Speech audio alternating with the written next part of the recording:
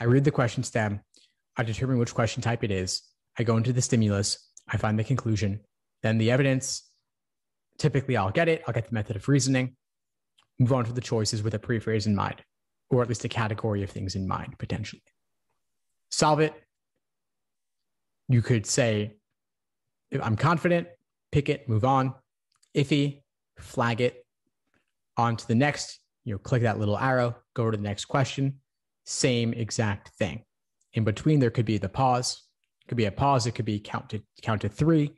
It could be close your eyes. It could be take a deep breath. Any of those things, but this is repeatable through all 25, 26 questions.